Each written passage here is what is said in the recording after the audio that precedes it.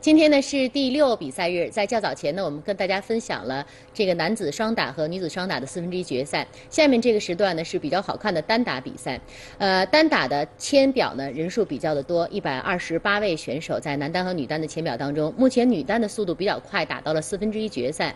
为让您更好的收看和了解比赛呢，今天呢在北京的演播室，我们还是请到了大家的老朋友，也是前乒乓球的世界冠军，目前北京体育大学体育教研。北京大学体育教研部的这个副教授刘伟女士跟我一起来陪伴大家收看比赛。刘指导好，童老师好。嗯，那么刚才呢，我们说了，这个今年的这个世乒呃亚亚亚锦赛呢，应该说是来到了中国第五次来到了中国，呃，可以感觉到现场的观众是非常的热情的。呃，这个亚洲的乒乓球水平呢，代表着世界最高峰。不知道刘指导，你看到前几天的比赛，现场的观众他们有点像看娱乐。这个节目一样啊，把这个球球员的名字打在手中，然后标语牌还有各种的像什么小荧光棒这样的一种玩具，来表达他们对自己心目当中偶像的这个热爱。那么你感觉这些年来中国乒乓球在推广的这个道路当中呢，都有哪些经验可以值得跟我们大家分享呢？嗯，让我感触最深的还是中国这个国球文化的这个博大精深吧。嗯，呃，但是我觉得最终还是呃要感谢领导的重视、球迷的关注，还有还有这个咱们国人们对这项运动的热爱。嗯，呃，我一直在说，我说中国的乒乓球就是在中国它是什么？它是一个金字塔型的，由于这个下面的这个基石比较。比较多，比较稳重。呃，参与的人数多，所以说这些世界冠军们，中国乒乓球队在那个塔尖上，他才能做的如此的稳定。嗯嗯。而且我也有一种感觉，就是说呢，今年的乒乓球队刚刚换届，他们来参加亚洲乒乓球锦标赛的这些教练员，都是曾经我们大家非常熟悉的球员。很多的世界冠军呢，走到了这个教练员的岗位上。除了球员本身呢，教练员的魅力也是非常大的。那么接下来我们要看的这个比赛呢，是到目前为止，我们中国呢一共呢是派出。出了五位女子选手来参加单打的比赛，在前面呢，他们打的这个呃，应该现在是第五轮啊，但是因为都是种子选手，所以首轮轮空。这是他们的这个呃第四场的上场的比赛，所有的选手呢都是顺利的晋级了。但是因为分组抽签的关系呢，武阳和朱雨玲他们是分在了一起，所以呢，这个四分之一决赛当中将会两位中国选手来对决。我们为大家选播的这个比赛呢，是中国选手丁宁对阵日本的平野美女和。这个朝鲜选手崔炫花和刘诗雯之间的对决。那么关于这一场比赛呢，刘指导之前也就说了啊，说这个应该说是进入到非常好看的阶段了。呃，对于首先丁宁即将登场对阵日本的这名小将，这场比赛的看点会在哪里呢？嗯，呃，平野美宇是呃去年由于丁宁和刘诗雯的缺席，她成为了新的。呃，世界杯单打的这个冠军，呃，在他十六岁的时候拿到的，也是比较在日本是最年轻的世界冠军。回去之后炒作的很厉害。去年呢，他也参与了中国的乒超联赛，在乒超联赛当中呢，他跟丁宁呃有过对阵。呃，应该丁宁还是很轻松，很很很那个很轻松的就把他拿下了。嗯。但是随着我一直这么说，因为日本日本队的这几名小将都非常年轻，我们一定要用发展的眼光看他们。他的经验在不断的积累，他的优势在于他的锐气和和他的冲劲儿。嗯。所以说这场球呢，他日本队肯定是全力以赴去拼丁宁。嗯。那么作为丁宁来讲。应该说还是发挥出自己的水平，呃，达到一个稳定的状态。应该说这场球还是问题不大的。嗯，这就是我们从前方啊看到的一些画面。等一会儿呢，在这个比赛的转播过程当中，势必还会看到很多举着丁宁的名牌的这些球迷啊。其实应该说是我们每一位呃国家乒乓球队的运动员呢，都有了自己的粉丝团体。这些今今天的粉丝来到这个无锡体育馆，都是有备而来的，而且呢。这个目前呢，中国几代人、几代乒乓球人做出的努力，在世界上所取得的成就，已经使乒乓球运动的推广呢，它不仅仅是教练员、球员是偶像，包括我们现在演播室请到的这个刘伟，还等一会儿呢，在我们节目当中要担任这个解说评论嘉宾的邓亚萍，这都是超级巨星哈，来参与我们的节目。大家每个人都是在中国乒乓球事业的推广道路当中呢，一个非常重要的一个螺丝钉，呃，奉献着自己的力量。那么我们回到这个赛场的成绩来看呢，其实女子单打呢在亚锦赛上面呢，应该说是成绩一直非常的出色。前面的二十二届比赛里面呢，由中国选手所获得的这个女单的冠军呢，一共是有十八位。这项比赛的卫冕冠军呢是朱雨玲，而呃今年参赛的这个刘诗雯呢也是二零一三年二十一届在韩国釜山的这个亚锦赛当中的。呃，女单的冠军得主。那么刚才呃，刘伟指导也说了，平野美女呢是非常年轻的一名小将。整个的日本队这次都是派出以高中生为主要的这个班底，而且他们属于一个上升的阶段。那么丁宁目前跟平野美宇之间的这个较量啊，除了在技术层面上他是应该是领先的，在心理层面上他也没有让小将有任何的这个突破感，或者是说这个心理上面的这个成就感。那么他对于这场比赛来讲，应该是胜算会很大吗？您觉得这个五局三胜的比赛会是一面倒的局面吗？嗯，我觉得是这样，就是首先打比赛之前，大家都知道要分一个输赢，但是何为赢，是我们值得我们思考的一个话题。就是今天这场球不是说呃丁宁三比二把它拿下才叫才叫赢，而是通过这场比赛，呃，我们大家都知道这个奥运周期三年半之后，也许在东京还要碰到这位这个小将。嗯，那么在那个时候。我觉得今天的比赛就。比较重要了，嗯，呃，那么今天呢，我觉得不是说要赢他，而是要从心理上击败对方，这才是我们所要的局面。嗯，刚才呢，在这个刘指导讲话的过程当中，观众朋友看到的是今天的比赛的这个日程。其实呢，这个单打比赛到现在为止，虽然只是四分之一决赛或者是八分之一决赛，但是呢，这个出赛的都是重量级的球员啊。在两场女单比赛之后呢，还有这个许昕和张继科的单打的比赛，希望大家持续锁定我们的节目。好了。大家可以扫描我们的二维码来参与我们的直播互动，这样有 CCTV 五的客户端的时候呢，就可以采用多视角 VR 的直播技术，从中国球员的这个视角来看待本届的亚乒赛。好了，观众朋友，接下来的时间我们就把现场啊推到这个无锡的体育中心。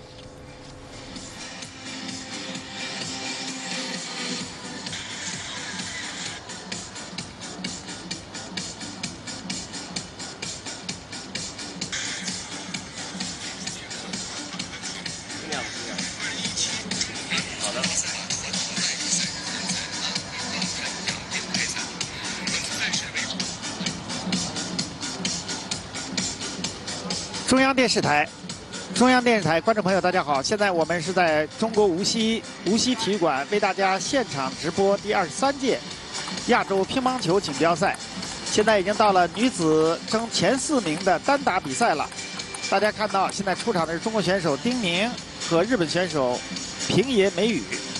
为了更好的介绍比赛，我们今天特别请到了四次奥运会的冠军、十八次世界世界冠军的邓亚萍啊，跟我一块为大家。解说比赛，哎，亚萍你好。哎，大家好，蔡老师好。好。呃，你对这个丁宁的印象是什么？呃，丁宁呢，我觉得现在越来越成熟。呃，从这个这一次的这个呃进来的一些比赛一系列的表现吧，包括特别是给我印象很深的就是去年在里约的奥运会。呃，成功的这个夺回了他自己的这个第一个奥运的冠军啊，实现了大满贯。对，那么尤其是在四年以前，呃，那场球的惜败哈，我相信对丁宁的这四年来讲过得是非常不容易的，因为我们做运动员都知道，尤其是大赛，如果说在这个重要的场次上输了球以后呢，他真的是要记一辈子的。所以呢，这个四年以前的那一场球到。去年的里约能够赢回来，我相信这四年过起来是很不容易的。但是最后能够战胜自己，又战胜对手，我觉得是很棒的。好的，哎，我们先看比赛情况。等一会儿呢，我们在期间啊，请呃邓亚萍为大家啊多说一说有关她对技术啊、对战术啊、对运动员的意志品质等方面的评论。好，现在我们看比赛。现在是日本选手平野美宇发球。平野美宇今年只有十八岁。啊，他的目标是世界冠军和世界女子单打、双打冠军。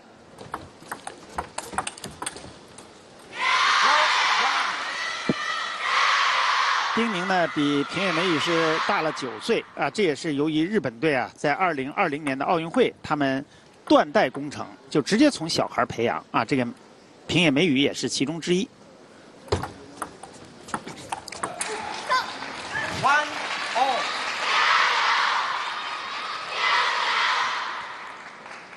啊，丁宁的爆发呢是在六年以前的二零一一年的世界乒乓球锦标赛，她获得了单打的冠军。啊，从那之后就跟他戴亚平讲，经历了这个很很复杂的过程，最终在二零一六年的里约圆梦实现了大满贯。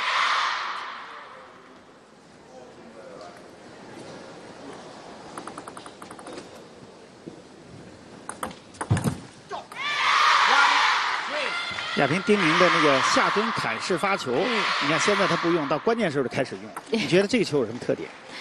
呃，因为相对来讲，做这个砍式发球的运动员比较少，呃，因为也是可以说是丁宁的一个特点吧。明白。呃，一般来讲呢，我们喜欢发这个侧旋球，就是左侧。那么他这个球呢是是右侧，相当于。就逆旋转。哎，逆旋转的。呃，而且呢，这个发球呢，对于运动员来讲，尤其这个丁宁个子比较高啊。那么其实是蛮困难的，因为他又要蹲下去，他还得马上迅速站起来要接第二板球。其实对于他来讲蛮困难。其实我当时打球的，我有一套发球，呃，也类似像这样的这个砍式发球吧。但是呢，我肯定比他稍站起来快一点，因为我我我没有那么大的幅度哈。是的。那么对于他来讲呢，当然这是一个特点。所以说这种球的话呢，一般来讲比较有特点的发球，呃，那么尤其是。对手接的不是很多的这种情况下，一般会藏到比较关键的时候使用，因为对方一个来讲，他接的不是很多，他就不是很适应。是的。那么这个就作为一个战术的使用，啊，作为关键球和关键分的时候的一种扰乱也好，还是都得分手段也好，所以这个时候这种这种球。发球是牵动了整个战术的一整套的这个呃出现，所以这个这个球是一定是放在关键时候才会使用，不管是出奇制胜，还是说我作为一个扰乱，它都是一个这样的一个作用。没错，等一会儿到关键球的时候就可以看到啊，刚才邓亚萍说这个丁宁的下蹲砍式发球，我们继续来看比赛。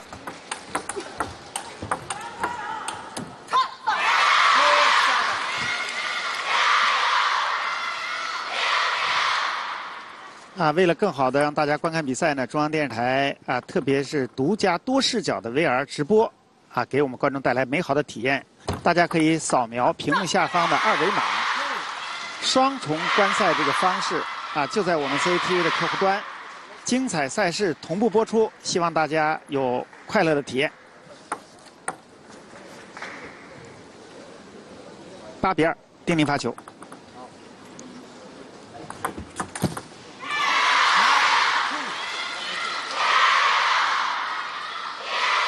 那这个平野美美宇刚十八岁，比丁宁小九岁，也显得嫩一点，你感觉是吧？对，整体感觉上来讲，实力还是显得单薄了一些啊。当然也可能是第一局刚上来吧。嗯。呃，这个可能对整体的场地的适应啊，包括这个进入比赛的状态呀，啊，他可能还是需要一个过程。但是从整体实力来讲，我觉得他肯定还是相对来讲要弱。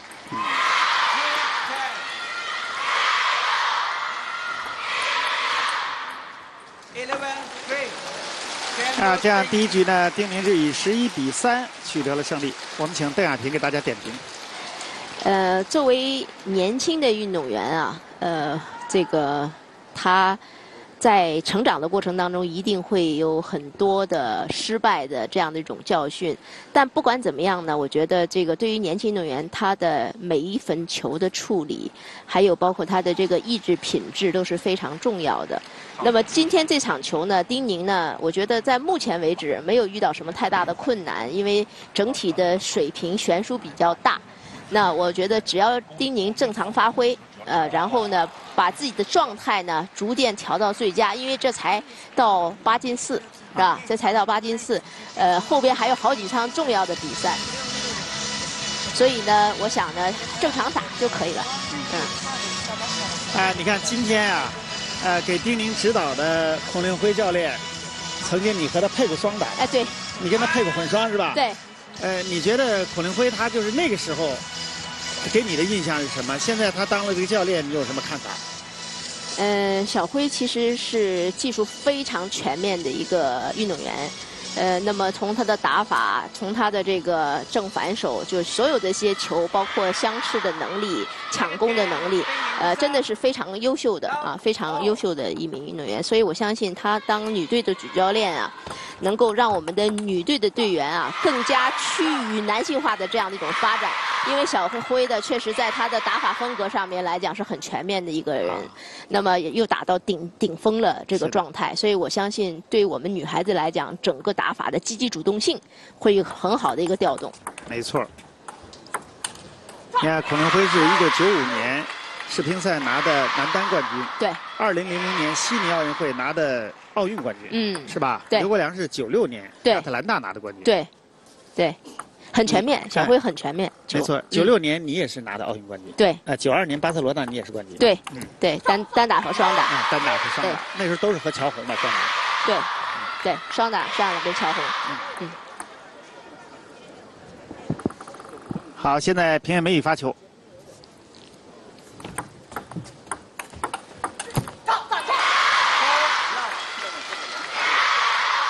啊，在前两天的女子团体的比赛中，啊，当时呢，这个中国队和日本队相遇，平野美宇当时碰到了中国选手刘诗雯，啊，在第二局刘诗雯八比五领先的情况下，平野美宇逆转，最后呢取得了一局的胜利，最后一比三输给刘诗雯。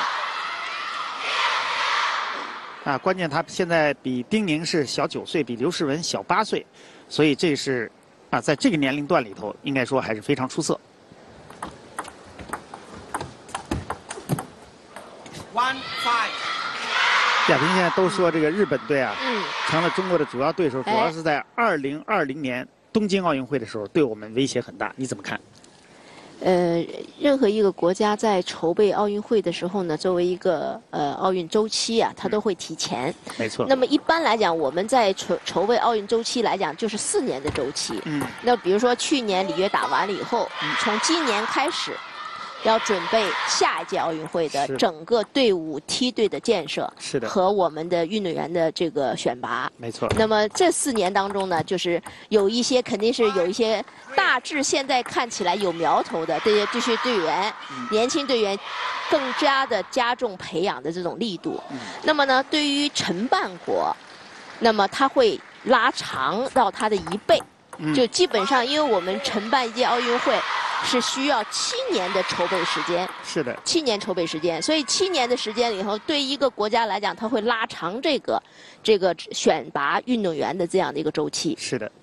那么，呃，日本队毫无疑问，现在做的所有的准备都是二零二零年。啊。那么你看，他现在上了一批非常年轻的队员，是的。他要给他的年轻队员足够的。锻炼时间和培养时间，嗯，呃，这个是任何一个承办国，呃，大致都会这样做的。是的。啊，我们自自己中国队也是这样，包括像我们在这个，呃，零八年奥运会的时候，当时我记得我们的体操，体操队就把我们的这个就拉得很长。比如说我们体操可能他女女孩子能够出成绩的，呃，岁数大概十六七岁、十五六岁这个样子。那么，那么意味着什么呢？在七八岁、八九岁这个时候，就基本上要定苗子了啊，要推到这个程度。是的。那么，像包括呃这个伦敦奥运会，英国这一次是异军突起，嗯，异军突起。呃，一二年他的成绩非常好啊，那么导致了一六年奥运会他居然排第二，嗯，啊。那就是因为他把他的周期拉长了，他培养了很多的年轻运动员。虽然他一二年没有最最出色，但是他后后发的力量又出来了，所以他一六年，呃，既然超过我们，取得了这个奖牌数的第二名。是的。啊，所以他这个还是金牌金牌数第二名啊，还是很厉害。所以一般来讲，承办国都会把自己的这个选拔运动员、筹备奥运会的周期放在一起。嗯。所以你像平野美宇啊，到那个时候才二十出头，对。啊，但是丁宁他们呢，已经有啊三十了，是吧？所以这个时候呢，他们这个准备对我们来讲的压力就在这儿。你看这个。是。是。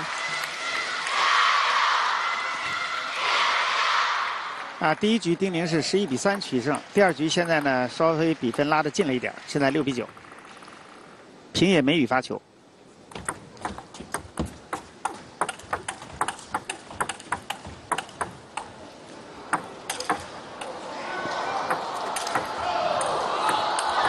漂亮，他的速度看来比丁宁要快一些。哎，搏杀吧，还是我是觉得他总体来讲还是一个搏杀球啊、但是呢，相对来讲呢，我觉得他的球呢，呃，实力还不足是的，啊，实力不足，嗯，还是就是。对，就是现在他可能搏到几个，但一会儿可能搏不到，他就就结束就嗯结束了这件事儿对。另外就无谓失误还是多了一些哎，是吧？对。啊，现在九比七，丁宁发球。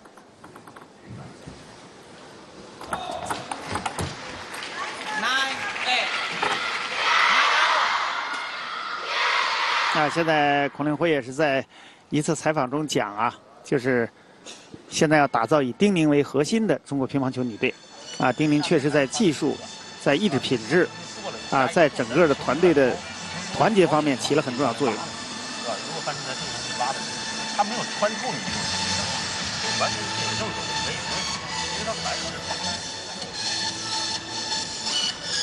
他这话有时候听不懂，你你听着，整个日本队吧，给我感觉哦，就是呃，他还是想把自己的速度提起来。呃，那么呢，但是呢，我觉得他现在日本队最大的问题呢，现在我看这些个女孩子女队员，她的步伐都相对比较差，所以呢，只要丁宁把她撕开了，就会出机会。嗯，啊，所以她因为我我看了一下，呃，这个女孩子个子也不是很高，就像我一样，因为大家很很自然，只要跟我打上来就说，先把她调动开，嗯，没错，然后打他的空档，因为你个子矮嘛，相对来讲你照顾的面积就不会那么大嘛。没错，那如果你的步伐再跟不上的话，一定会出漏洞的嘛，是的，是吧？所以我相信是这样。我今天刚才看了一下以后呢，我觉得平野很很重要的问题，虽然他可能速度比较快，嗯，但是你只要把它调动开、撕开了它，它的漏它的机会就出来了没错。啊。所以我觉得呃，丁宁很重要，就是把落点打开，嗯，再找机会下手。好的，好，我们来看一看，现在比赛正在进行，九比八，来了，哎，来了，下蹲砍杀啊，出来 啊，这就是刚才啊亚萍给大家讲的，在关键时候发。你看现在是九比十，哎，很重要，这这分非常重要。啊，发球得了一分，对，这个在很大程度上给他心理造成了一种压力啊。他一下蹲，对方就害怕。因为他平常练的少，嗯，他不知道这个到底怎么接好没错，啊，所以这个时候是最，就是关键球要用这种球。明白。现在平野美宇发球.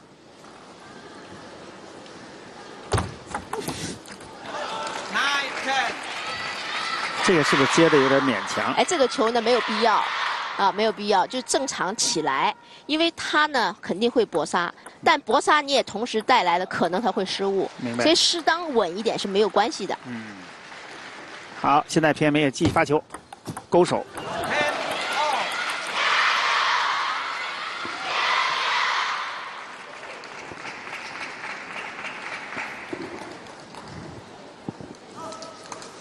丁宁落后一啊，现在十比十，丁宁发下蹲砍式发球还是反手，漂亮。上台，现在最重要的先上台，就不要太凶。不用太凶，不需要。啊，年轻运动员这个时候心里比你起急，他毛，嗯，哎，这时候稍稍稳一点，没有关系的。好的，你他大不了他搏一下，你扛他一下就行了。嗯。现在偏野发球还是勾手，嗯，这擦网了。擦网，嗯，没问题，就这个很正常。就是接发球呢是两种，就看这个处理球的方式。一种呢上台扛他一下，这是一种方式；还有一种呢，我主动的给予更多的威胁，这是一种方式。这个时候呢，因为他抢攻并不是很凶，所以先上台扛他一下就完。嗯那扛他，扛住他，哎，就完了。嗯。他打多几拍呀，嗯，平野就不行，他的实力没到。没错，所以不用急，上台上台嗯扛扛他一两下就行了。对，这个三四下他哎连失误了，哎，十二，十一比十二。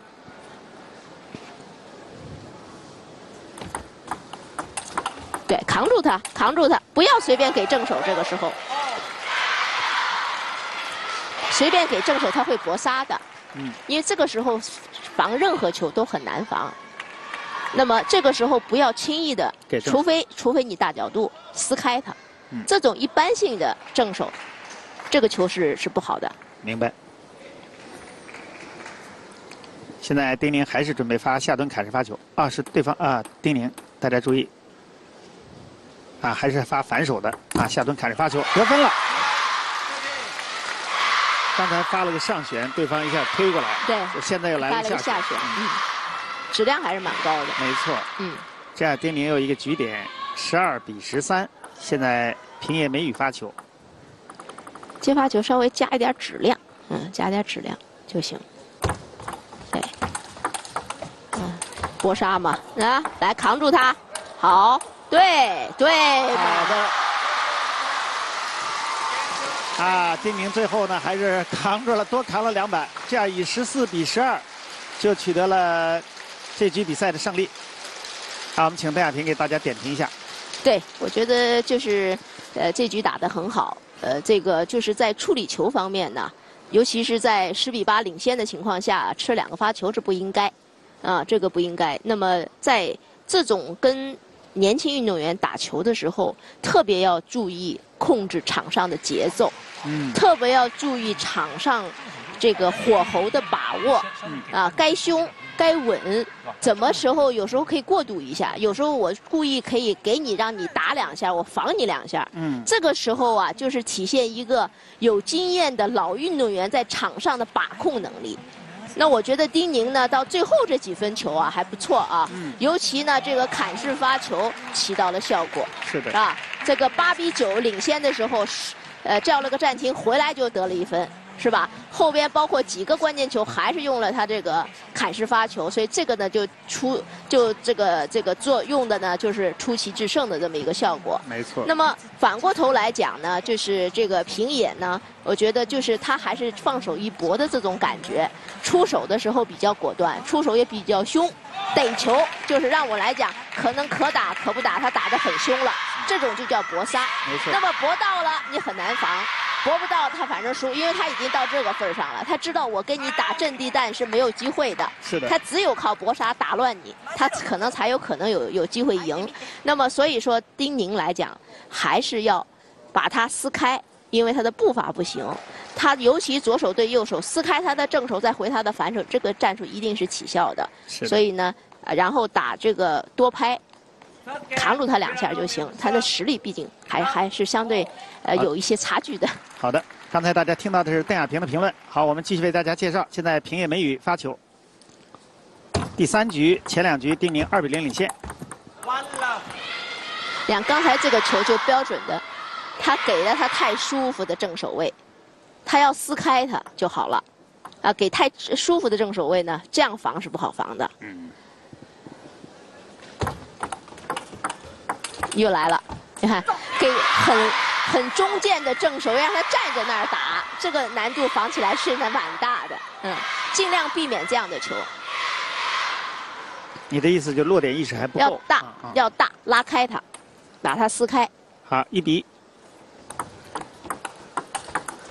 看了，送普通的正手球不要送，给质量，给角度才给。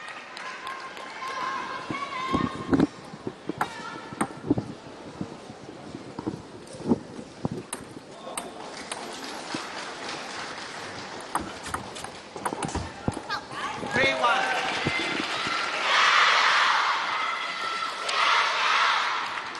啊，我们中央电视台为了更好的让大家观看比赛啊，特别开辟了这个独家多视角的 VR 直播，啊，希望大家体验，就是扫描屏幕下方的二维码，双重观赛，啊，尽在 CCTV 五的客户端，精彩赛事同步播出。啊，为了更好的让大家观观看呢，我们除了请了邓亚萍啊、谭瑞武在整个比赛中呢作为我们现场的嘉宾解说以外，还特别邀请到了前世界冠军刘伟啊和我们的主持人童可欣啊在前方啊在后方进行评论。呃，戴亚平在前面评论，刘伟在后面评论，目的呢是希望大家能够了解更多的啊比赛方面的资讯啊和我们这些世界冠军的看法。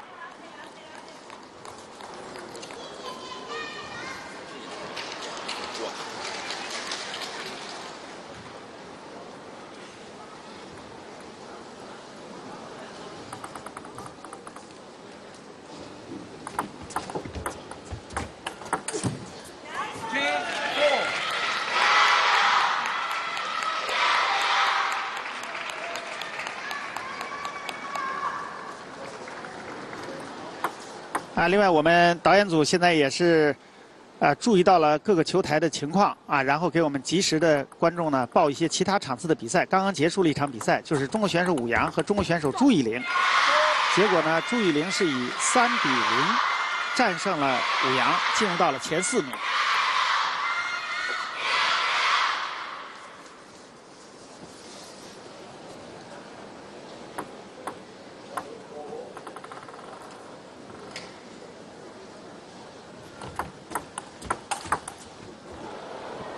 Five, four.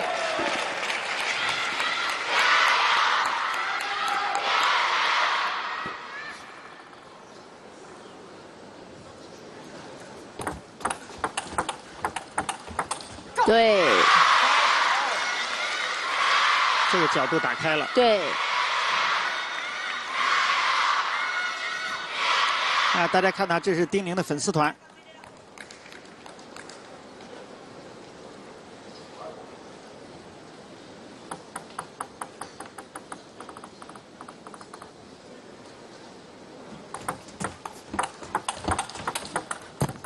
哇，这够快的！嗯，现在他俩我看有点这个丁宁是以转制快，如果丁宁使上劲儿了，就摩擦住了以后，对方的快就受到抑制了。呃，这局呢，这这个谁从刚才那一局开始，平野呢，慢慢的渐入佳境一些哈，哎。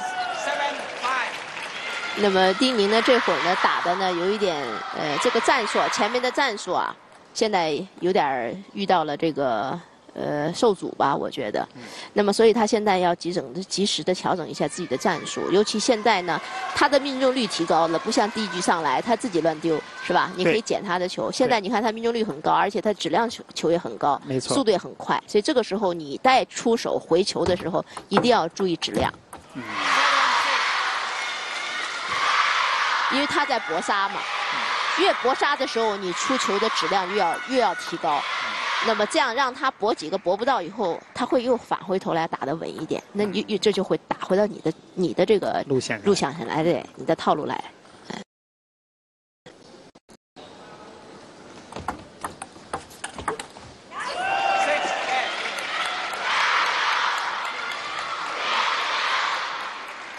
啊，确实像亚萍讲的，你看平野在这一局啊，基本没有无谓失误，啊，很准，嗯，打开了，这会儿啊而且很嗯快。对。对丁宁的发球，他也不太吃了，习惯一点。啊，换正手了。刚才下边砍式都是用反手发，啊，刚才改了一个用正手发，但是平野接的还是不错。丁宁处于落后，现在要稍微改变一下战术，丁宁你觉得应该怎么改？还是在发球。哦，哦哎呀，这是运气。运气，嗯，嗯。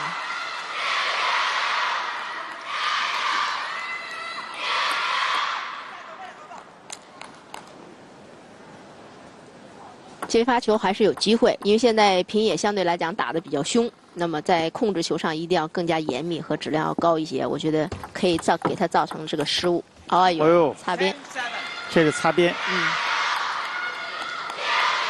今天平野采取的方法就是搏杀，对，比平时要凶，凶，对可打可不打的打，啊，可轻可重的重。对，没错。年轻运动员搏这个老运动员，尤其著名的运动员，一定是这样打的。嗯，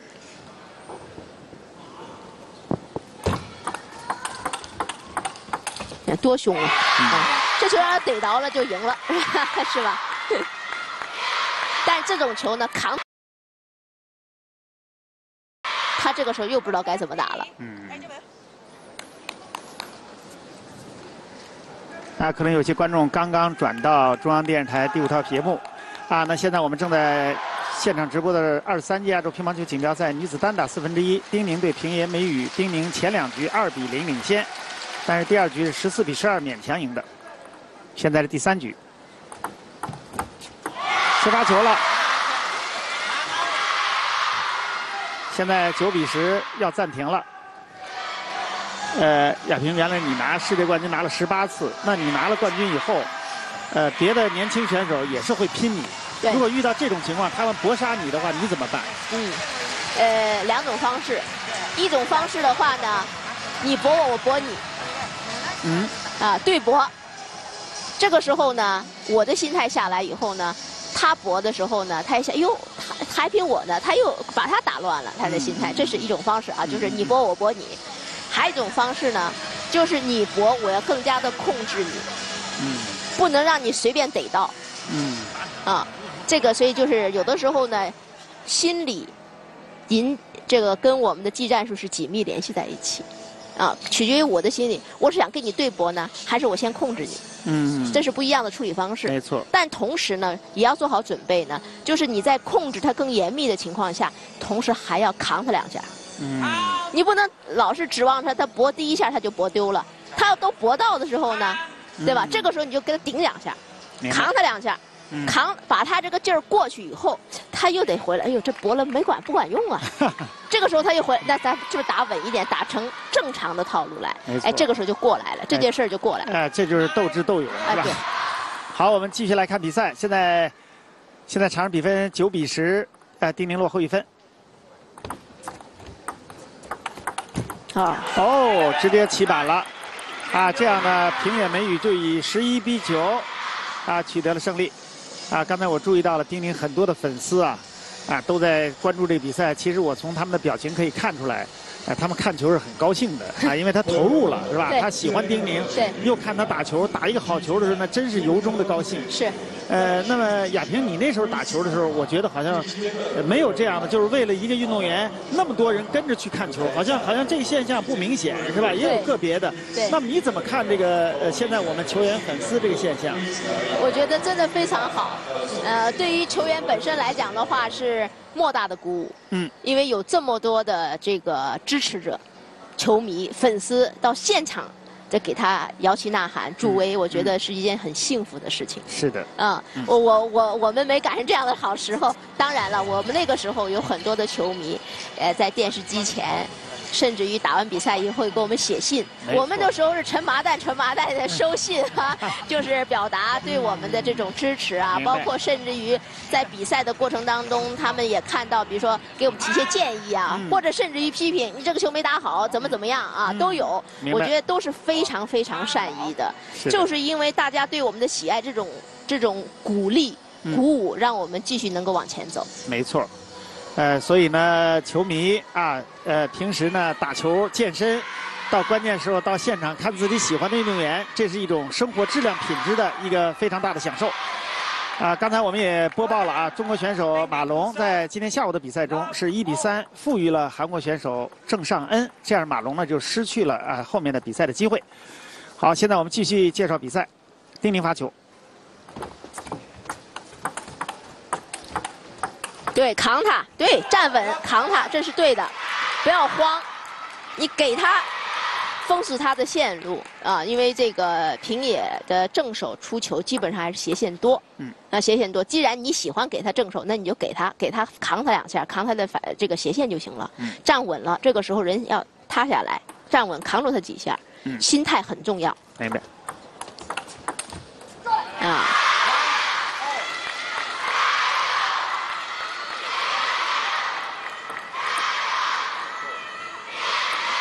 平野美宇今年只有十八岁，啊，这个队员呢，到了二零二零年日本奥运会的时候，应该是日本队的一个主力选手。他的球风比较凶悍啊，大家看还是比较凶的。对，速度是比较快的。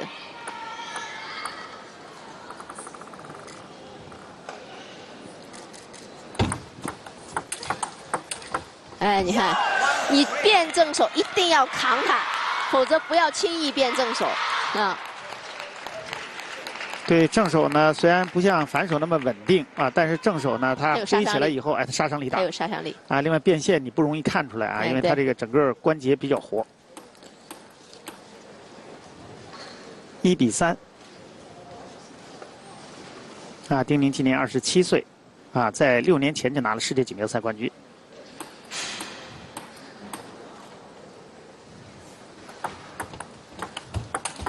哦，现在他对丁宁的球也比较适应，嗯是吧？嗯。那亚萍，依你来看，丁宁现在应该采取什么样的应变？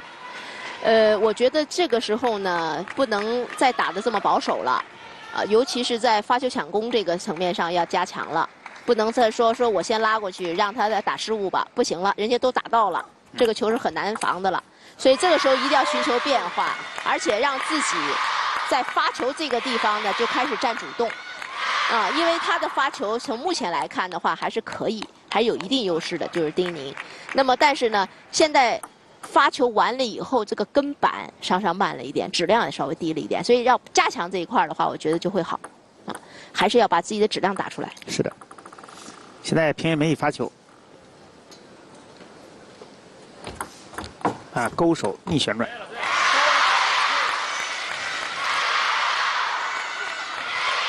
年轻的选手啊，就是波动比较大，打得好的时候什么都有，啊，可能不定什么时候出毛病，所以有的时候呢，老运动员等待一下也很重要。对。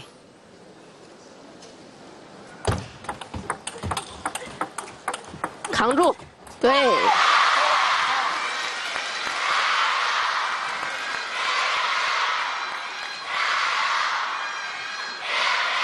哎，这就看出来运动员的技术全面啊，能攻能防。因为不像过去了，说以攻代守，我一攻你就守。现在呢，你你你你攻，对方也攻，你必须要有守。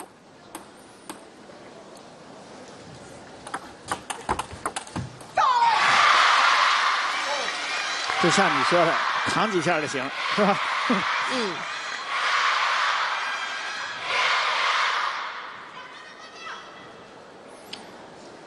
现在双方前两局是打成一比一，这是第三局。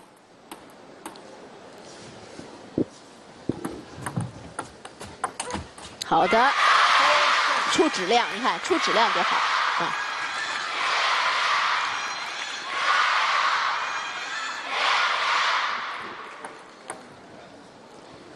这轮接发球非常重要。嗯嗯，他这个勾手发球，你觉得有什么特点？我觉得他发球质量一般。嗯，啊，我觉得他发球质量一般。只要这个丁宁接发球时候再出点质量，我觉得这球直接就上风。嗯，啊，这太轻了。嗯，这不能这么送法。Six. 啊，就像你说的，送正手的时候不能轻易给。而且接发球，你看太太轻了，接接发球的时候没有加旋转，而且没有加质量，你就这么一送过去，你这就开始被动了。嗯，第一下接发球的时候就要出质量，嗯，这个时候你就可以占据主动了，然后再再扛他两下，这个球基本上是在你的控制范围内。没错。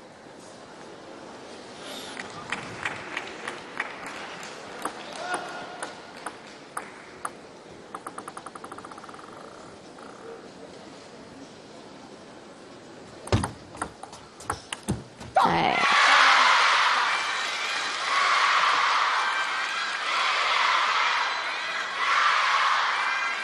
啊，你看丁宁的粉丝啊，这个对运动员来讲也是一个鼓舞。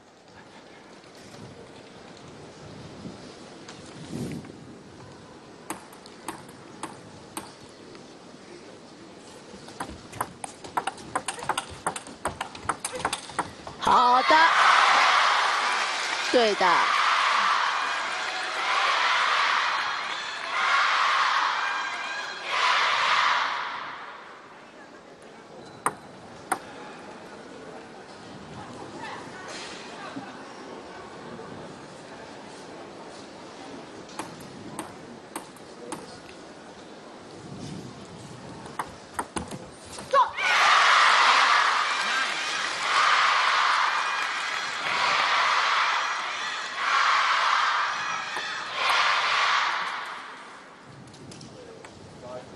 防止搏杀。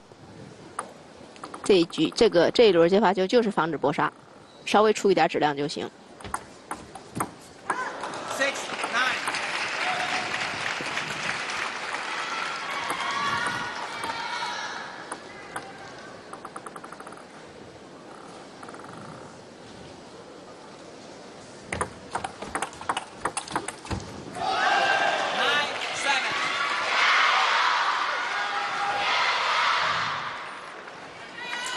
啊，平野的击球点也比较靠前，打的速度也比较快。啊，这个确实丁宁难难度比较大。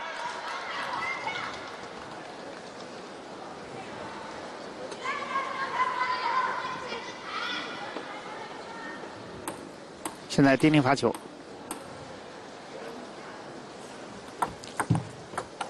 好的，哎有机会。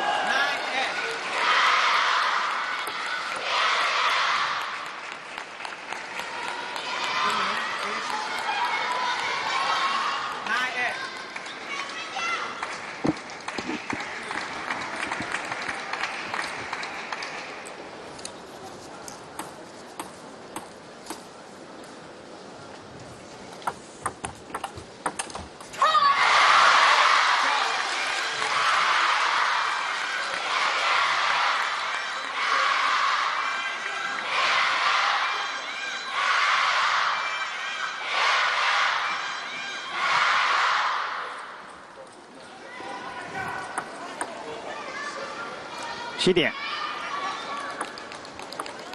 八比十。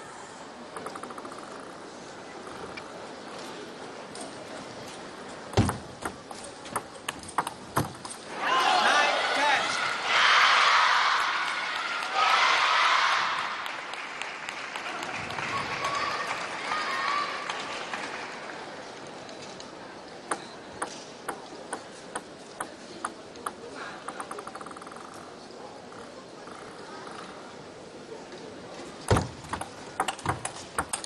哦，这两个角撕的非常大。嗯啊，这样又把比分打到了十比十。现在双方前两局是一比一，第一局丁宁是十一比三取胜，第二局平野美宇是十四比十二取胜。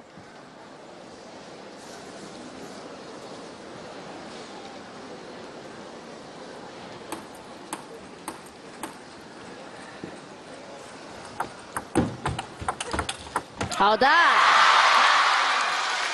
顶得好。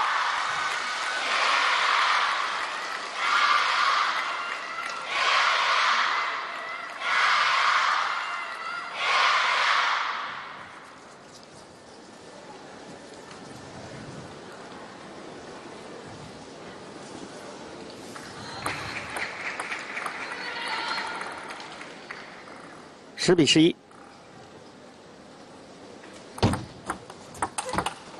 好，哎呀，啊，第一板打中路，第二板打正手。还是猛冲猛打啊！年轻运动员，勇气可嘉。嗯。现在丁宁局数是二比一领先，这是第四局。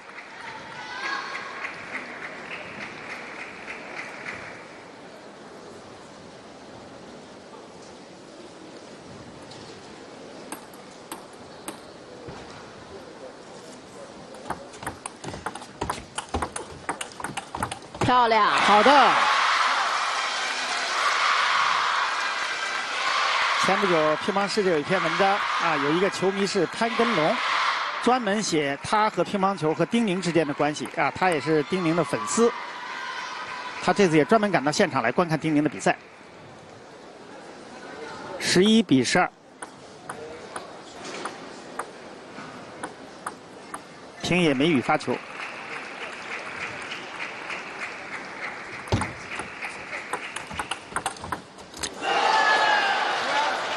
今天这个搏杀命中率还是很高的对。对，这会儿命中率挺高的。其实刚才丁宁那球挺长，对，质量还可以，球出手很狠。你对这个平野美宇的评价怎么样？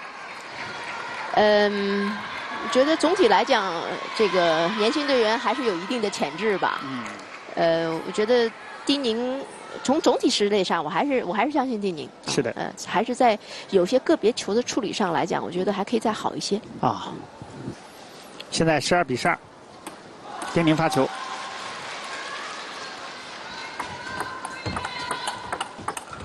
好的，哎呀，机会，这个球机会，啊，这就是我们平时说的两面摆速。你看，两个人都是正手一个，反手一个，这时候他的速度感觉比丁宁还是要快，对，是吧？嗯，这啊，这样丁宁呢现在处于落后。日本的平野美宇发球十三比十二，漂好的，这个出乎意料。早一点打这个球就对了，接发球太稳了。啊，突如其来，关键时刻侧身抢拉。这对一个好的运动员啊，他倒到最后时候啊，他敢于搏啊，而且他又能这个能力能够搏到啊，这就是一个好的运动员。十三比十三。哦好的，吃发球了。这场比赛之后，我们将转播刘诗雯和朝鲜选手崔玄花的争夺前四名的比赛。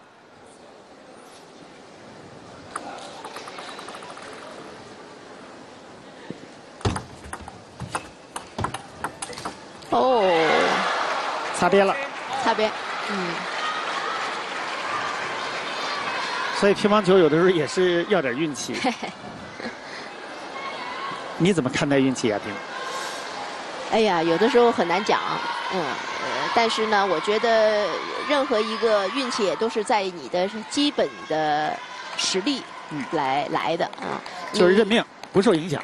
呃，这个这个是正常，因为他打你意外，你也可能打他意外是的，啊，呃这个都不用不用考虑他，也不用埋怨打过哎，打过就过了。嗯好，正常把自己这分球嗯打好喽。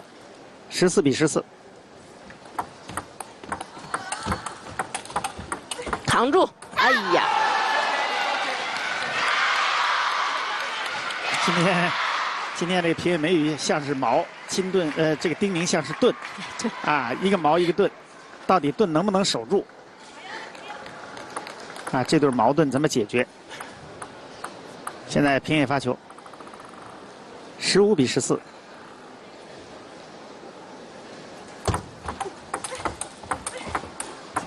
扛住！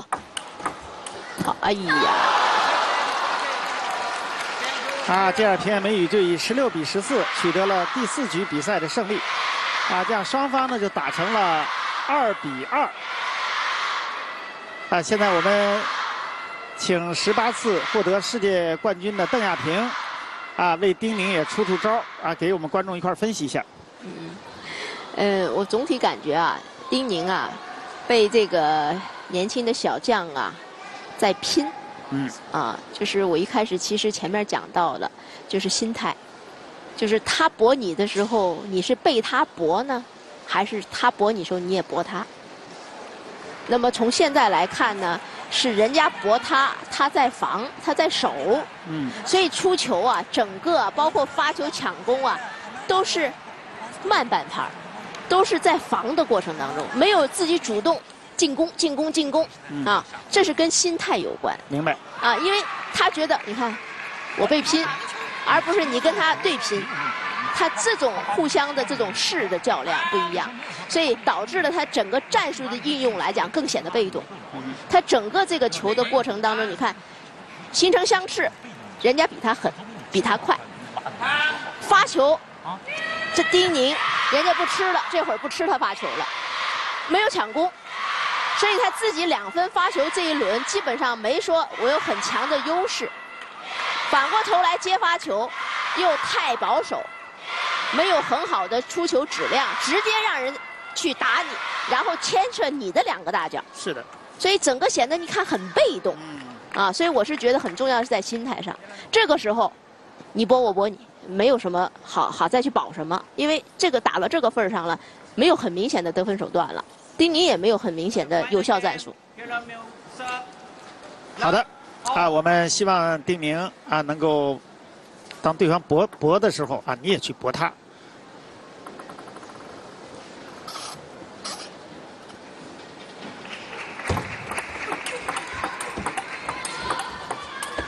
好的，啊，现在丁宁的球的质量呢也有所提高。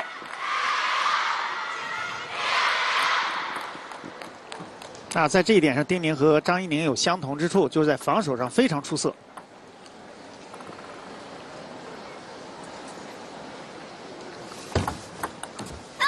七发球了。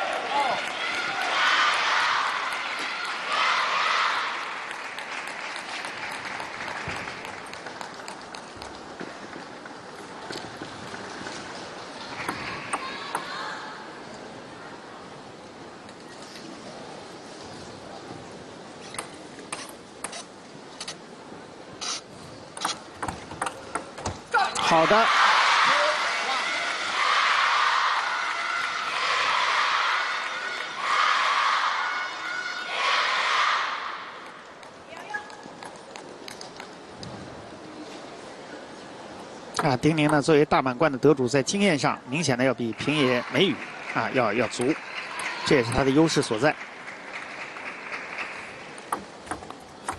拉起来，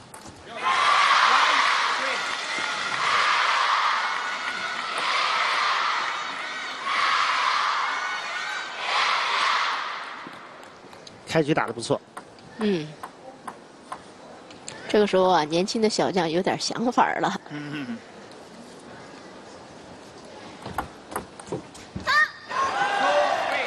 你有点想法，觉得快赢了，反而这时候这手上的感觉就不对了，是吧？前面呢出手很果断，因为他想反正拼的，反正是搏的，哎，结果搏到了，你看他赢了。这个时候有想法的什么意思呢？哎呀，这时候一有想法了，想赢了，出手就没这么果断了，没这么果断以后就失误了，啊，哎，又打回原形了。没错。嗯所以乒乓球就是微妙啊，对啊，因为他你稍微心心里的想法不一样的时候，哎你手上就能感觉出来。哎对嗯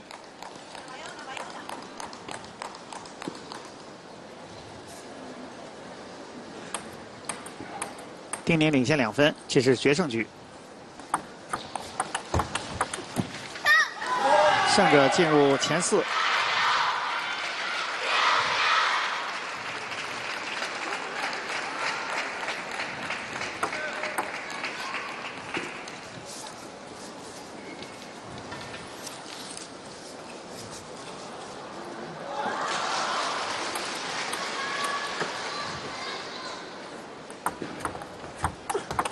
哦呦，没有质量，你看自己的上手没有质量，全部都是高调，啊，那全是高调，几乎没有上来就是罚球抢冲的。而且在侧身以后啊，如果没有质量的话，正手整个是空档让开了哎，空档了。啊，这样四比四。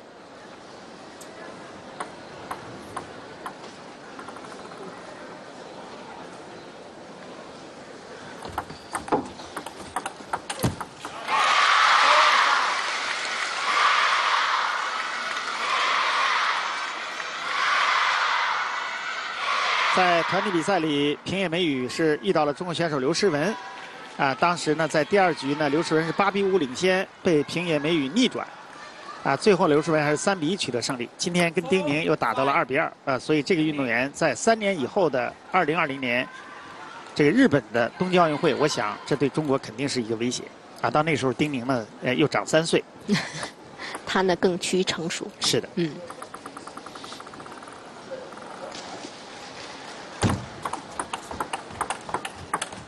好的，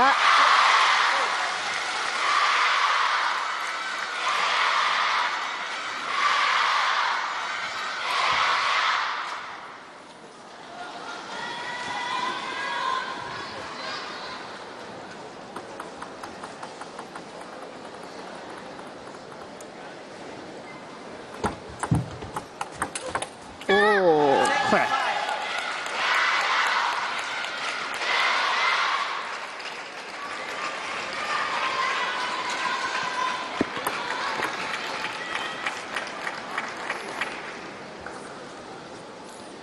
这场比赛之后呢，我们将给大家转播另外一场男子的八分之一的比赛，就是中国选手许昕对韩国选手张宇镇。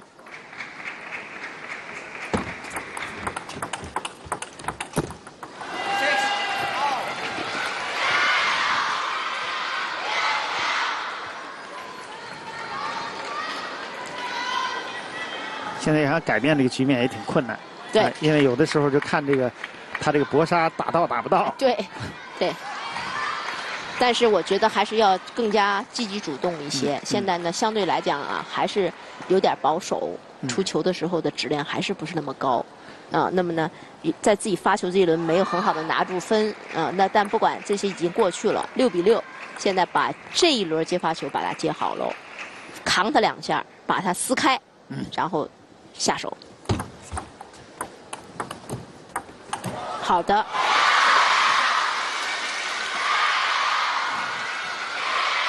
你看刚才他这个球啊，丁宁其实想上来啊是上手的，啊，就是这种姿态一下去以后，你给别人的压迫就不一样。没错，你不能就站在那儿，我搓，我还是拉，我积极下去以后，他姿态不一样，以后给给他造成了一种无形的压力。虽然你可能没抢。是的。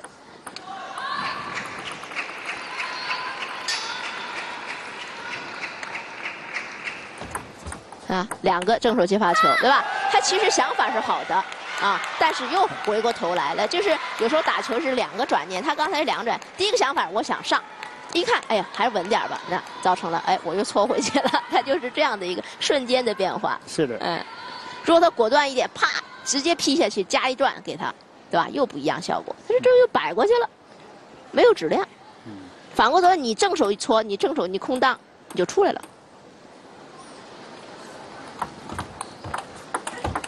哎呀，出质量，出质量！发完球以后没有下手，还给那往上送，老是想让别人打丢，这种是不对的。你应该积极的去得分，而不是靠别人失误来得分。就把命运掌握在自己手里。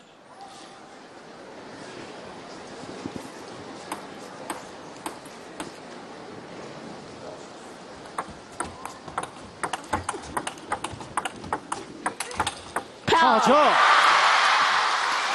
这个球应该说平野美宇打的已经是非常棒了。是的。但是丁宁防的更好，这是没办法。对。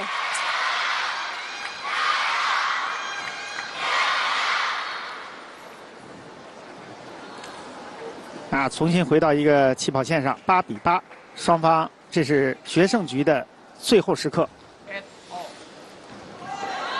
现在十八岁的小将平野美宇发球。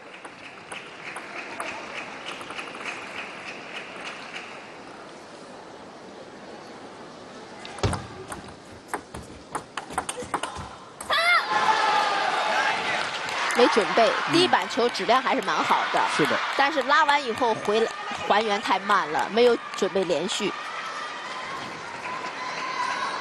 因为前面一直主动进攻也比较少。对。这是刚开始。对。啊，这对丁宁是一个严峻的考验了。前面马龙已经输给了韩国的郑尚恩，所以看看丁宁能不能突破这一关。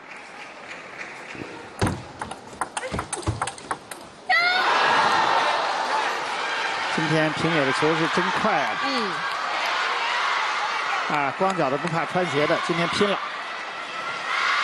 而且他命中率还真高。是的，所以这个搏杀就是你说的搏杀，而且又很准，你就不好办了。对。现在丁宁也试图啊，刚才主动抢攻干扰，但是效果都不是特别好。现在看看丁宁在八比十落后两分的情况下，怎么扭转败局。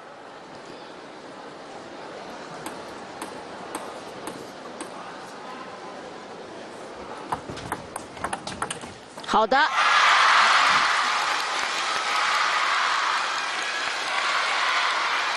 啊，这时候就看出运动员，啊，亚萍像亚萍你说的，啊，就跟平时一样，该怎么打怎么打，啊，这就是人的这个这个素质啊，到关键时刻，并不是因为比分的这种吃紧而而紧张。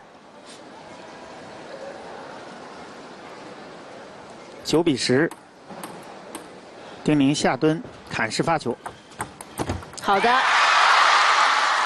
失发球了，啊，又有了起死回生的机会。年轻运动员有想法了，十比八领先的时候，可以，还是有机会的啊，稳扎稳打。八比八，现在到了十比十。防止搏杀，出球要有质量。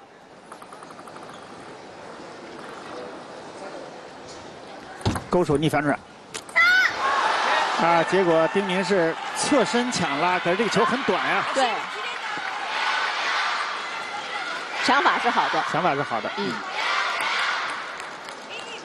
啊，一侧身以后发现球很短，啊，这时候再一够，球出界了。现在丁宁又又处在一个落后的环环节，十比十一，这是决胜局。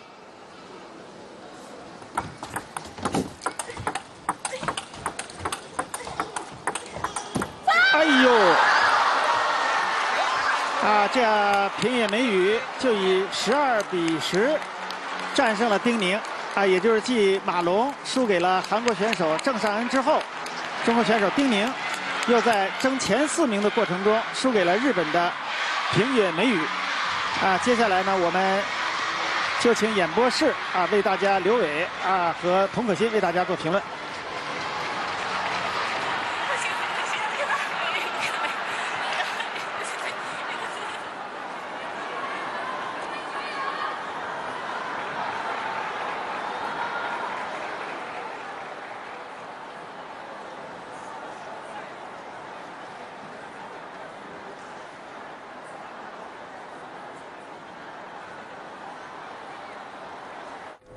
一个十八岁、脸上稚气未脱的日本小姑娘平野美宇，相信今天下午这一场直播结束之后，更多的人会记住她的面庞，记住她的成绩，也记住她的名字。呃，在刚才看这场比赛的过程当中呢，我觉得怎么看的那么紧张啊？哈，特别是最后几分。呃，刚才刘伟老师已经说了，这将是我们中国女子乒乓球队在未来的比赛当中遇到的头号对手。来，呃，刘伟老师给我们来。分析一下今天这场比赛，两个人到底在技战术的水平层面上面，呃，是运气多一点，还是说技术实力确实到了那个水准？嗯，我觉得今天双方为大家奉献了一场精彩的比赛。呃，那么作为这个平野美宇呢，他作为年轻的小将，他所给大家或者说他所有的就是这种锐气，但是他把这种锐气打出来了。呃，接下来呢，我们将迎接的挑战就是它在不断成熟的。呃，这个情况下，技术不断完善的这个情况下，我们把它当做头号劲敌的时候，再去研究它的时候，也许打起来它就没有那这么难对付。我觉得就是呃，这是一个双方博弈的一个过程。嗯就是今天他打得非常漂亮。嗯呃，也是我们准备不充分，也是二比零领先，没有在这个二比零领先的情况下没有扩大战果。首先也有我们做到呃做的不到的地方，嗯所以一定要在这个比赛瞬息万变，它是动态中的，呃，把握住把握住动态中的比赛才是王者。嗯所以这个比赛呢，呃，这个还还要继续，奥运周期还在呃还在向前走。那么希望我们这个中国乒乓球女队，呃，这个今后加强这个研究，嗯嗯，相信未来会美好的。嗯。那么在今天的这个比赛过程当中呢，首先这个平野美宇的表现确实让大家眼前一亮啊。但是从丁宁这个角度上来讲呢，你觉得她今天的这个发挥呢，呃，还是哪些地方需要提高和改进呢？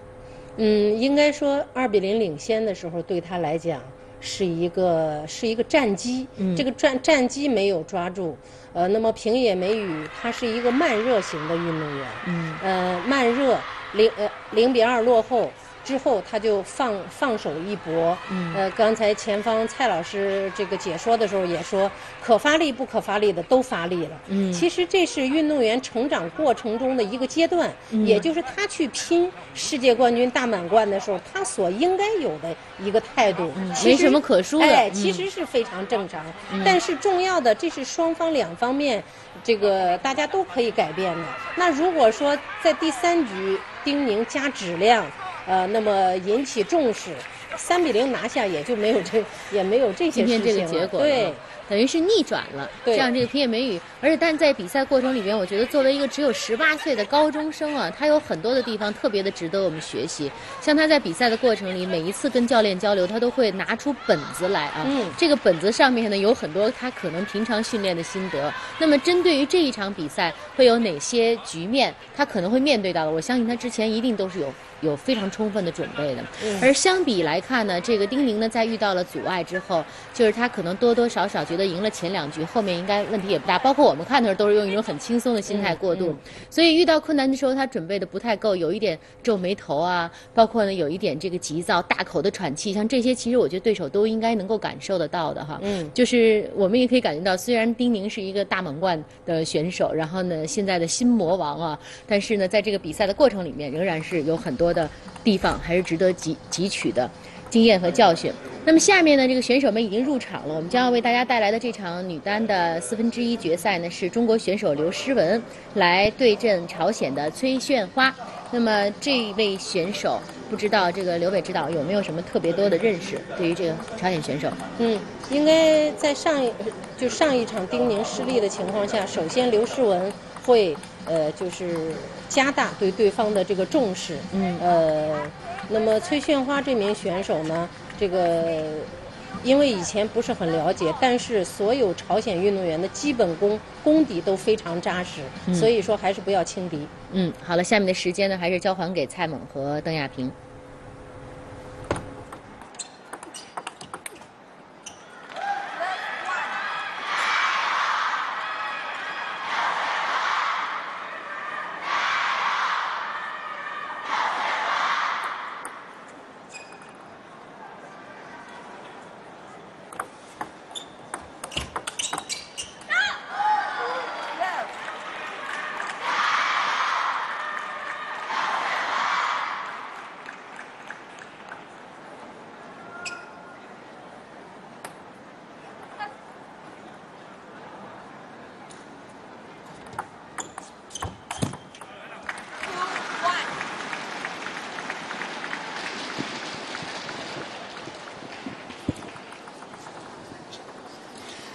央电视台观众朋友，大家看到另外一场四分之一比赛刚刚开始，就是由朝鲜的崔玄花对中国选手刘诗雯。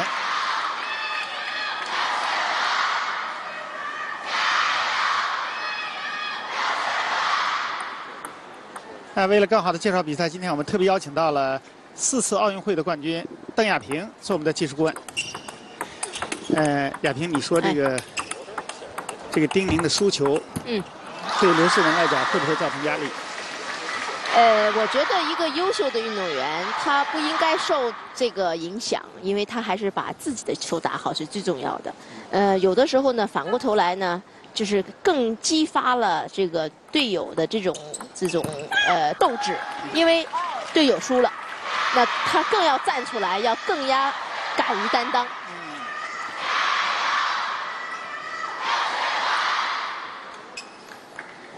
那我们导演组呢，现在又给我们一个信息，就是在另外一张球台结束了一场比赛，结果中国选手陈梦是三比零战胜了新加坡选手冯田薇，这样呢，中国队啊又有一个运动员进入了前四。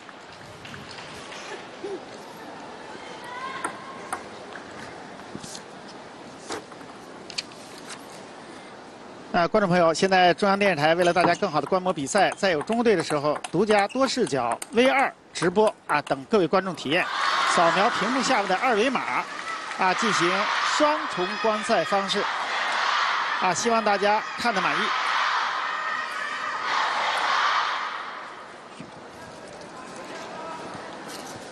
亚萍，你看崔炫花，你感觉对他印象怎么样？通过前几个球，这个朝鲜的选手啊，从从来都不敢小觑。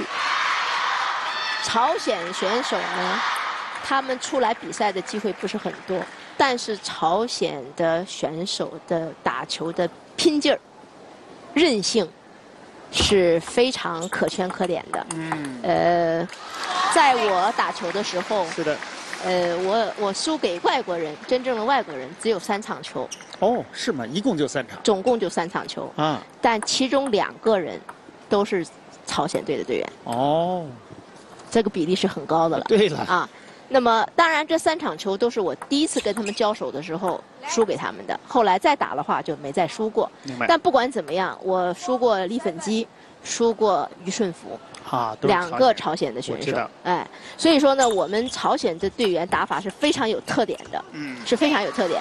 反过头来，他出来比赛的机会不是很多，你对他熟悉程度是有限的，没错，哎，但是呢，我也很佩服他们在哪儿呢？虽然他比赛出来不多，但是他呢，比赛呢，他不显得很怯场，因为有的时候你打比赛打的少了，反过来你会很紧张。没错是，吧？你会很很怯场，但咱们朝鲜的这个队员啊，他总体感觉还是觉得比较镇定，是的啊，比较镇定，嗯而且他比较相对来讲能正常发挥他应有的水平，嗯这个也让我比较比较比较比较惊讶啊。是的哎，那么呃像朝鲜的选手呢，他的打球的这种呃套路啊，其实是跟我们一开始中国队给他打下一个良好的基础是有关的，因为在很早以前的时候呢，我们呢就派我们的教练。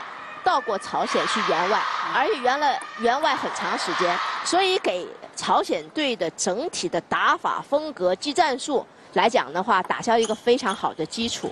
所以他有时候打球的套路跟中国人很像，啊，因为是跟我们的教练有关没错，啊。当然，后来我们呃在朝鲜就没有教练了啊，没有教练了。但是他对中国的打法风格还是很熟悉的。接下来，让我们跟随音乐节拍，为长征的运动员加油，也为您啊，现在我们听听孔令辉的指导。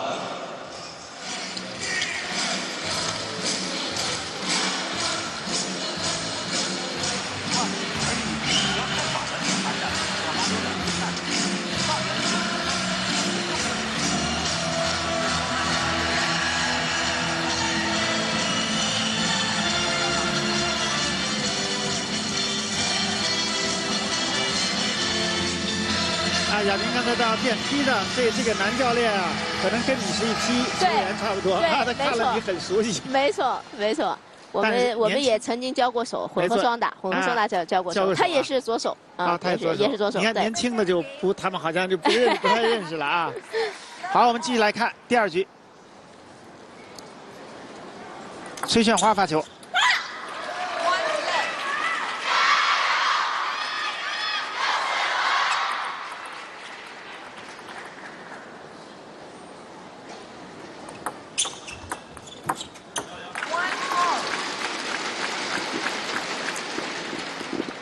亚平有人说刘诗雯打球也也有你这个风格，说速度非常快，赢钱非常好，你怎么看？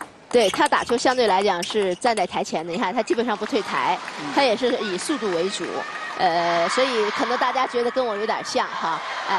那么呃，这个诗雯本身打球呢，我觉得她的积极主动性，包括她的落点意识等等都很好，唯独稍稍弱了一点点的在哪儿呢？就在她的力量上，啊，在她的绝对力量上，稍稍差了一点啊。那么他的速度很好，他的落点意识包括防守都很好，哎。这个就是就是力量，绝对力量哎，杀手那一下啊！如果再能重一点，那他可能球会还会更好一些。啊，嗯就他的得分手段，让别人给他的这种，他给别人的这种压迫力啊啊，压迫性会更大。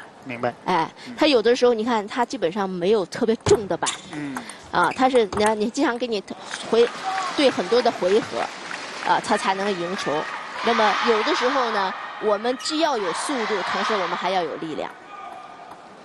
这力量是不是很大程度在天生的？呃，有时候这个力量是靠爆发力的，啊、这个爆发力呢，很大程度上是天生的，是吧？哎，很难练，爆发力是很难练的，没错哎，那他一板过的球很少，就是刘诗雯，这是个相对啊这么多的技术方面来讲，相对来讲弱一些的地方，就是一板一板致死你的球，他这种球少，是的。但是他也是目前中国女队里速度最快的一个。哎，对，特点很很很很明明确啊，特点也很突出，对。呃，上次在世界锦标赛，在苏州的时候，他和丁宁碰上了，后来丁宁崴了脚了，嗯然后呢停下来了，嗯，最后他又输了。嗯那个球对你看了没有？我看了，我看了，你觉得那个是不是心理的问题？对，就是显得嫩了一点嗯、啊，因为呃，不管场上出现任何的意外，对于一个选手来讲，你都不能有自己有心理的起伏。啊，就是不管，呃，实质上来讲是残酷的，是吧？呃，比如说对方崴脚了，就像丁宁，大家也是队友，是吧？但是这个时候是对手，嗯，对手他崴脚了，我比赛的时候我就是要想尽一切办法要赢你，嗯，对吧？那么这个时候他最大的问题是什么呢？他脚崴，他动不了，你该怎样打他呢？你应该调动他。比赛嘛，残酷的嘛。对。啊，那如果下来，那我肯定我我尽可能是你你你养着，你甭动了，是吧？有些事儿我们跑跑腿儿，因为你脚伤了。但比赛不是这样的，比赛是以赢为准，对吧？虽然出现的意外，我不能有任何的对于我的心态的变化和技战术的变化，我正常打，我该怎么打就怎么打，而且要随着他这个脚崴的这种情况下，甚至要调整一些技战术。调整什么技战术？你不是跑不动了吗？我就要调动你。可能比较纠结，说哎呀，啊对一个队的，呃对他脚崴了，对对对对。而且有的时候呢，丁宁呢，我看那个脚说是脚崴了，一拐一拐的，但是你一打大角度，他还能够着，没错。所以这个时候就给刘诗雯就造成了压力，他又想掉，可是这时候一掉的时候角度要大，所以造成了失误。是是。啊，刚才呢，呃，戴亚婷给大家回顾的呢，就是二零啊一五年在苏州的世乒赛的时候的冠军争夺战，当时刘诗雯啊和丁宁在关键时刻啊，丁宁崴了脚了啊，这时候刘诗雯其实当时也很冷静，她站在那儿啊就静静的不动。后来有人说可能是站的时间长了，活动没活动开啊，不管怎么样啊，还是呢由于这个突如其来的变化，她没有完全把握住。对。反而呢，按道理丁宁不伤，他也占优势。对嘛？可是丁宁反而伤了，他却最后成劣势了啊！这个显然是是由于心理造成。没错，没错。不过正因为丁宁在那次比赛中，啊，这这个刘诗雯，啊，有了这个有了这个这个锻炼，在后面的比赛啊，他也体现出了很多的打出了很多的好球和关键球。对，所以我们在比赛的时候啊，呃，就是经常会。有原定的技战术计划，按照计划来执行，不止一套、二套、三套战术。同时，我们还有应变的战术。万一出现什么样意外情况，我们该怎么打？应该都有。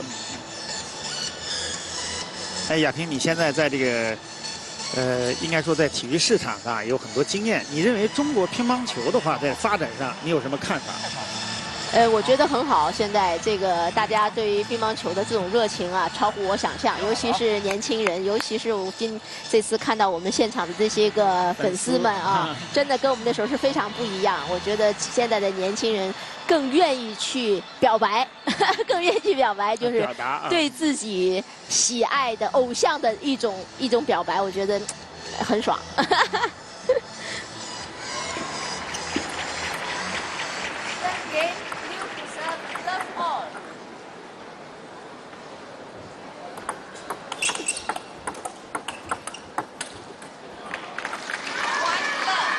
啊，另外现在你看乒超联赛啊，当时呢这个也提出了要打造成是中国的 NBA 啊，要把乒超联赛要要打造的非常有价值。但是这些年来呢，好像在这个整个的商业运营方面还不是非常理想。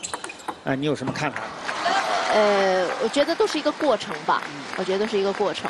呃，体育产业在中国目前是刚刚起步。呃，当然，我觉得是呃无限的机会。那么还需要我们大家一起来共同的探索，呃，什么更好的市场的环境和市场的机制，让我们这个体育产业能更好的服务于我们的大众。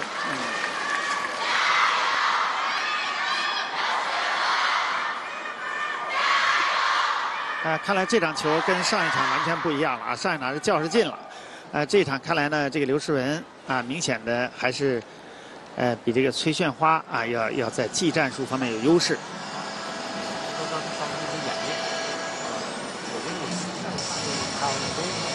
亚萍，当你看到这个直板横打，啊，就是王浩这个直板横打出来以后，而且他不用反手推挡，完全是横打的时候，你是不是感到很意外？你觉得过去在你们那时候打球的时候，好像这个东西只是解决一下下旋，来一板，后来就变成主要的技术了。嗯。呃，这个呢，其实是最早的时候，我记得是当时是呃徐云生徐主任，嗯呃，这个让刘国梁开始率先去尝试的，嗯尝试的一种技术来解决直板快攻反手上手的问题。是的，啊，那么慢慢的演变成了到了王浩。是这个不会反手推挡，就会用呃这个直板横拉的这样的一个情况，所以我是觉得任何一个技术都是从一开始逐渐的走向成熟，没错。然后呢更多的发展和创新，所以呢我觉得整个中国乒乓球队能够称霸世界这么长的时间，很核心的就是不断的创新、创新再创新。嗯。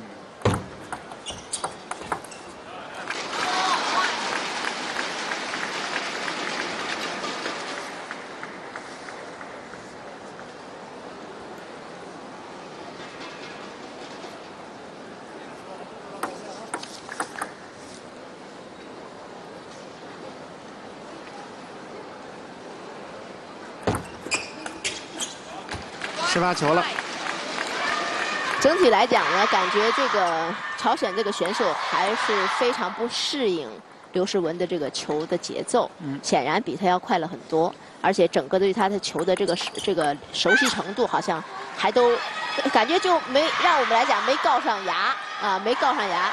啊，我相信这个朝鲜这个选手的水平不应该是这样，嗯他两个基本没有回合，是吧？那就说明呢，就是朝鲜这个选手呢，显然对刘诗雯相对是比较陌生的，对球路啊，对他的打法的风格啊都不是很熟悉，嗯，哎，都没告上牙，这种球很少，哈，啊，很少，不像刚才，啊，刚才丁宁这场球多少个回合呀，是吧？哎，这场球呢显得就是没没有完全没有没有打到一块儿，就是这个这个球啊，没有球叫上板哎，没叫上板，球球没告在没告在一起，嗯。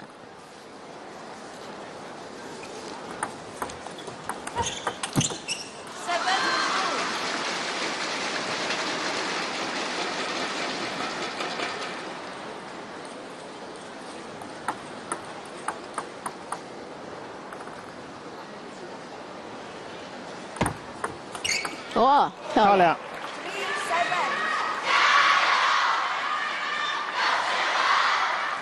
啊，这次呢，由于接下来的这个五月底到六月初的世乒赛，要用黑色的球台和黑色的挡板，所以这次红双喜也专门做了一个这个原套啊，为了让大家来适应世界乒乓球锦标赛这个器材，所以这个呢也是中国的一个优势啊，提前厂家就给你做好，对，让让你们去适应。对，确实是，呃，中国乒乓球队的这个不断的创新呢，也和我们的这个器材生产厂家是有关系的。嗯呃，包括我那个时候打球，我反手用的是长胶，嗯，那么长胶的我把它打成了进攻型的打法，那嗯固然对长胶制作本身是有要求的。没错。我当时把它打成进攻型打法以后，很容易啊打断这个胶力，很容易打乱。嗯打到我有时候都撑不到五局，这个胶力就断掉了。哦，啊，是吗？对，因为长胶胶力很长、很软、很细。，没错。我一发力以后呢，有时候呢，这个它就打打断了。嗯。那么打断以后呢，我在同样的动作情况下，它就可能会下网。没错。但是我就不知道它它什么时候断了，啊我就很难去把握和控制它。白明白。所以在这种情况下，跟我们当时给我制作的这个呃天津橡胶研究所嗯啊，嗯就我当时打的这个胶皮是呃天津这个工程师啊，这个天津橡胶研究所这个研发的。我跟这个工程师我们有很多的沟通，嗯。哎，最后呢一点一点一点点让这个胶皮更牢嗯啊，然后更又能发得出力，还能有怪。啊，让球还能打得出飘飘忽忽的球，这是非常大的矛盾。没错，因为你想让球打得飘飘忽忽，它就不可能有速度。明白。但是我是速度和怪相结合。嗯。所以当时也说是邓亚萍拿长焦进攻，所以在现在在这个社会上有很多人都是开始用长焦进攻啊，学你那个时候。所以当时我们的这些个呃，这个制造的厂家呀，就是我们的这个设备设施的这个厂家呀，装备啊，确实有呃这个做出了很大的贡献，所以也要感谢他们。好的给我们这样默默的这样的一种付出。好，刘诗雯取得了胜利，我们请演播室给大家做评论。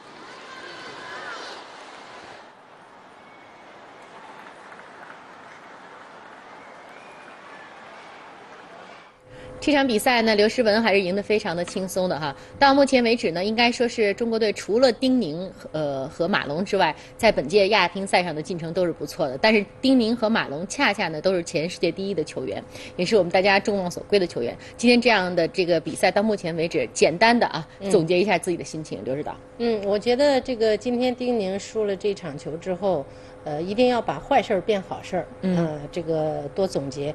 呃，更重要的，亚洲锦标赛女单现在才打到前四名，嗯，还没有呃出金牌，所以这个希望中国队各位还是要打起精神来，最终要拿到这块金牌。嗯嗯，再就是今天晚上的这个混双决赛，嗯，嗯我觉得就是说，在这个签表里边呢，确实是呃对于其他的球员是个提醒啊。丁宁今天的这个出局，对呃，刚才呢，这个刘指导也预告了，今天晚上最重要的就是这个呃混双的比赛，这是今年的是呃。亚洲乒乓球锦标赛的第一个单项的金牌，我们也请大家呢在体育新闻之后呢再次回到我们的直播当中。好，接下来的时间呢，我们就一起来欣赏一下这个体今天的体育新闻，了解一下来自世界各地的最新的体育消息。